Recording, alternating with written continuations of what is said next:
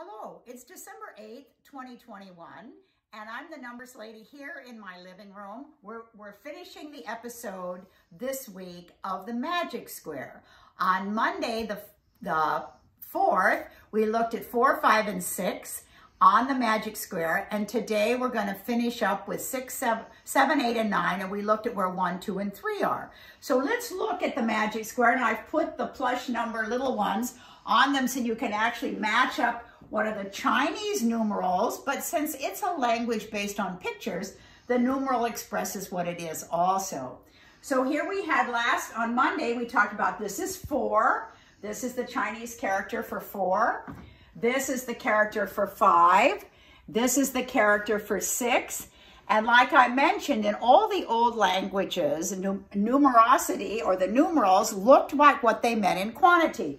So two, here is two pieces of rope. Now this is an artistic design, so they're not the same size, but people know that still too. And up here on the top is one. The candles were put in by the artist to just give it some fun arch architectural and design look. And here's three, one, two, three. But if you look at the one episode of the number show where four is one of the guests and she's had her DNA done, we talk about how all the old uh, number systems that were counting based. So zero didn't get to play a role in those. We're going to talk about that in a minute. They were all counting based. They started with one. One, two, and three were all always either one dot, two dots, three dots. Three rows, one row, two rows, either horizontal or vertical. Or they were knots like they were for the Quipu system, the Quipu system. So here we have four, five, and six, which we mentioned last time. We also showed where three, one, and two are located.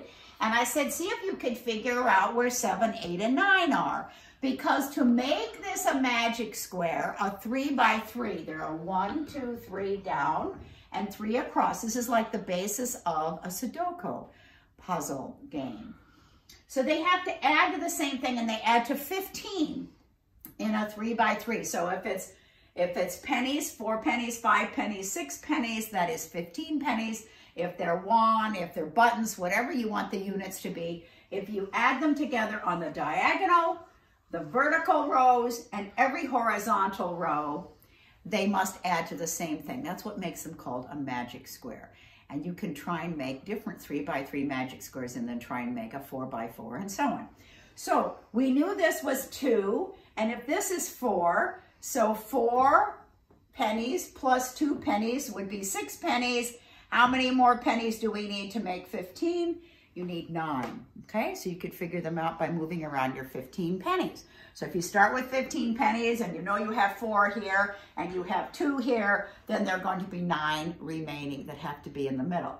And then if we know nine, we can check. Nine pennies plus five pennies would be 14 pennies plus one penny is 15. So it checks vertically, it checks horizontally.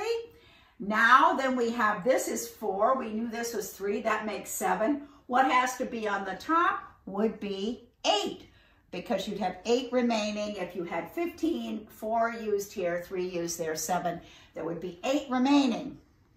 Now it's very interesting because red is a very, very, very, very good lucky number in China and eight is the lucky number of China. So that's why I made the eight plus number red. Also because there's a very important symbol that has eight sides that is red around the world.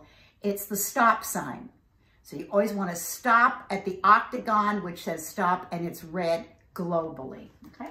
So this adds to 15 pennies. We know this does, and then what's left, the only one remaining here is the seven, because we found all the rest of them. And let's see if it works. 2 plus 7 is 9. And we have then 6 remaining to make 15. So now you can check them all off. The top row is 6 plus 1 is 7 plus 8 would be 15. The middle row, 7 plus 5 plus 3 is 15. And we have this diagonal to check. 2 plus 5 is 7, plus 8 is 15. You can check them all around yourself, and you can see if you could come up with another arrangement to make it a magic square with three, three rows and three columns. And notice in a magic square, zero is never there because they were based on counting-based systems and zero comes in when we change it to what is essentially an alphabet where you construct words with the numbers zero to nine. Now let's look over here. You could make magic squares of different languages.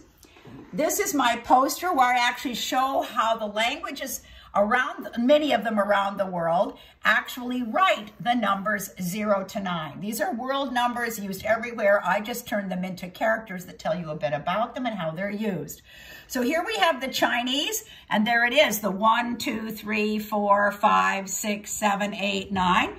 And here is 0. Look how much more complicated it is. But see, it was added much later. It wasn't part of the original number system of China because it was based on just the pictures. All right, and then we have Spanish, we have English, how they're written, 0, 1, 2, 3, 4, 5, 6, 7, 8, 9. So this is how you actually write them. These are the official languages of the United Nations. Okay, French, Russian, Arabic, English, Spanish, Chinese. And you can figure out how the Arabic is read. It's right to left, not like the rest of them, which are left to right. And then we have other languages of the world. I made sure that I had some from every continent. We have Hindi, Indonesian, Portuguese, German, Vietnamese, Korean, Turkish, Italian, Greek, Hebrew, Finnish, Swahili. That's one from Africa, in case you don't know it. Bosnian, Croatian, Tamil, Luau is also from Africa. Navajo, very important from the North America, where they were the uh, Navajo during World War II, they were the code that we use that Germany was unable to break, in the Navajo language. Quechua is another old uh, Indian language from northern uh, South America. Amharic is from Ethiopia, part of Africa. Polish, Thai, Malay, Bengali. So you could look up where those are, are written around the world. Then we have some constructed ones, funny ones. Klingon, my friend in Washington, D.C. actually wrote the Klingon language. So if you want to look at some of the fun Star Trek films and things, you'll see Klingon language, which is right here, zero to nine, and he helped me make sure those were correct.